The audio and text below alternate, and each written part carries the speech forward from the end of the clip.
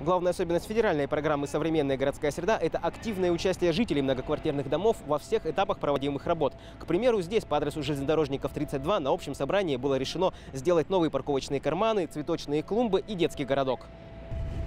По словам местных жителей, капитального ремонта во дворе не было со времен постройки самого дома в 70-х годах. Сейчас рабочие укладывают асфальт и бордюрный камень, готовят почву для последующего озеленения. Обещают, что все закончат через пару недель. То, что было и то, что будет, как я уже вижу, оно будет, э, в общем, служить э, самым разным категориям. И, и детям, и подросткам, и тем более, что у нас неплохая очень спортивная площадка рядом, и людям зрелого возраста. В процессе работы все жители участвуют, э, вносят свои предложения, все иногда делают замечания, свои желания, все там будем учитываем и делаем так, чтобы понравилось.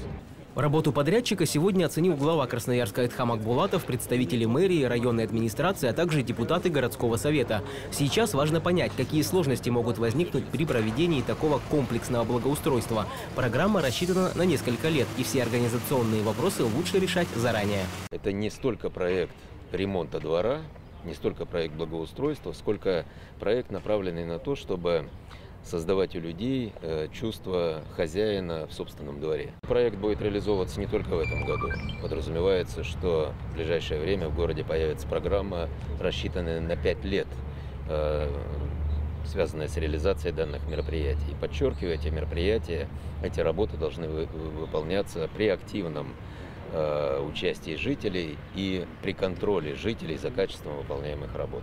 Контролировать будут не только качество самих работ. Деньги на благоустройство выделены сразу из федерального, краевого и городского бюджетов.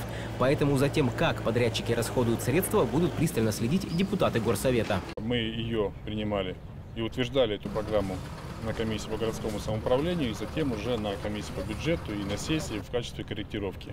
Поэтому городской совет следит за исполнением этой программы от самого ее появления. В начале этого года мы ее будем отслеживать сейчас на этапе ее реализации во время проведения ремонтов. До 1 сентября в Красноярске должны привести в порядок 215 дворов, по краю чуть больше 500. На следующий год список будет еще расширен. В 2018-м по региону количество придомовых территорий, где проведут благоустройство, вырастет еще на полторы сотни. Сергей Сеславин, Павел Потылицын. Новости.